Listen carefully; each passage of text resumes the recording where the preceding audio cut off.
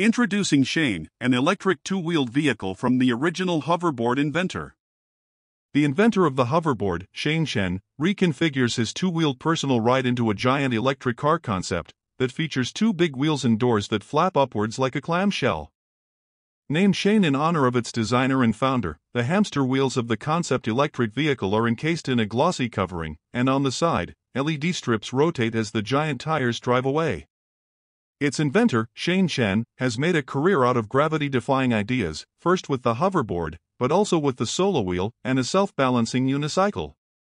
His automotive concept, like his previous inventions, challenges long held assumptions about personal transportation.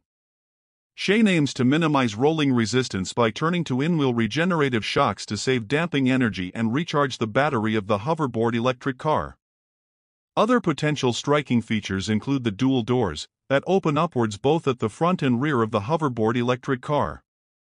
Shane embodies the tradition of scissor and butterfly doors and puts its own spin on them. It lifts themselves up the way clams do with their shells. Inside, no steering wheel can be seen, which gives the impression that the hoverboard electric car may be driverless and autonomous. It can also accommodate up to five people in its bucket seats, and the rear looks dedicated to the vehicle's storage in case the passengers want to bring equipment for their travel or commute. Shane can change how its weight is distributed compared to the wheels. This means that when it is driving or braking, the car can adjust itself to stay balanced as if it had four wheels. This claim can make the car stable enough to be safe, even when it is doing things that might usually make it wobble or tilt, such as running over speed bumps.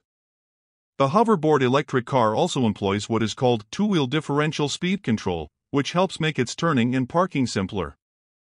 As seen in the video, the two wheels can move at different speeds, and by controlling these speeds, the car can easily maneuver and park at 360 degrees without needing a complicated steering system.